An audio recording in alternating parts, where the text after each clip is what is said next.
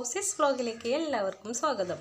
ഇന്ന് ഞാൻ വന്നിട്ടുള്ളത് കാബേജും കാരറ്റും വെച്ചിട്ട് നമുക്കൊരു ഉപ്പേരി ഉണ്ടാക്കുക എങ്ങനെയാണെന്ന് കാണിക്കാൻ വേണ്ടിയിട്ടാണ്.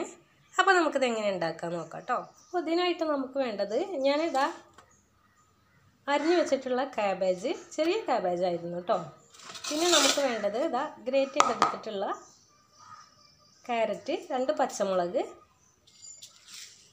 കടുക് ആവശ്യത്തിനുള്ള ഉപ്പ് ആവശ്യത്തിനുള്ള വെളിച്ചെണ്ണ ഇത്രയും സാധനങ്ങളാണ് നമുക്ക് വേണ്ടത്. പിന്നെ രണ്ട് തണ്ട് കറിവേപ്പില.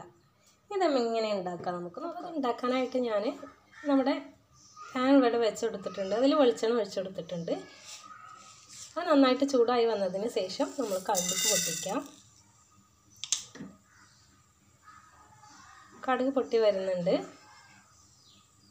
കടുകെല്ലാം നന്നായിട്ട് പൊട്ടി വന്നിട്ടുണ്ട്. അപ്പോൾ നമുക്ക് ഇതിലേക്ക് കറിവേപ്പില ഇട്ടെടുക്കാം അതിന്റെ കൂടെ തന്നെ നമുക്ക് പച്ചമുളക് ഇട്ടെടുക്കാം. അതൊരു ഇതായി വരുമ്പോൾ നമുക്ക് ക്യാരറ്റ് ഇട്ടെടുക്കാം കേട്ടോ അത് ക്യാരറ്റാണ് ഇട്ടെടുക്കുന്നത്. ഇത് എന്നിട്ട് നന്നായിട്ട് ഇളക്കി കൊടുക്കണം. ഉപ്പിട്ടതിന് ശേഷം നമുക്ക് കുറച്ച് ഉപ്പിട്ട് കൊടുക്കാം ഉപ്പിട്ടതിന് ശേഷം നന്നായിട്ടൊന്ന് ഇളക്കി കൊടുത്തിട്ടുണ്ട്. ഏകദേശം ഒന്ന് വഴന്ന് വന്നിട്ടുണ്ട്. അപ്പോൾ ഇതിലോട്ട് നമുക്ക് നമ്മുടെ കാബേജ് ഇട്ട് കൊടുക്കാം കേട്ടോ അപ്പോൾ നമ്മുടെ ക്യാബേജ് ഇട്ടതിന് ശേഷം നന്നായിട്ടൊന്ന് മിക്സ് ചെയ്ത് കൊടുത്തിട്ടുണ്ട്.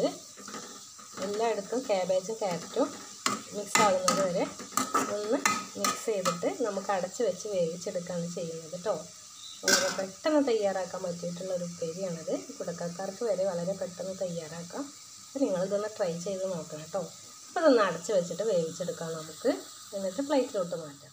അപ്പോൾ നമ്മുടെ ഉപ്പേരി ഇവിടെ റെഡി ആയി കിട്ടിയിട്ടുണ്ട്. വളരെ ടേസ്റ്റി ആയിട്ടുള്ള ഉപ്പേരിയാണ്. അപ്പോൾ ഇതിൽ തേങ്ങ വേണമെങ്കിൽ ആവശ്യമുള്ളവർക്ക് ഇടും കേട്ടോ ഞാൻ ഇട്ടിട്ടില്ല.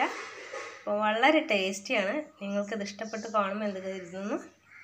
അപ്പോൾ ആദ്യമായിട്ടാണ് നിങ്ങൾ എന്റെ ഈ ചാനൽ കാണുന്നതെങ്കിൽ ലൈക്ക് ചെയ്യുക ഷെയർ ചെയ്യുക സബ്സ്ക്രൈബ് ചെയ്യുക. കൂടാതെ തൊട്ടടുത്തുള്ള ബെല്ലൈക്കൻ അമർത്തുക. കമന്റുകൾ ഉണ്ടെങ്കിൽ അറിയിക്കുക. അപ്പോൾ അടുത്ത വീഡിയോ ആയി വരുന്നത് വരെ അസ്സലാമു അലൈക്കും.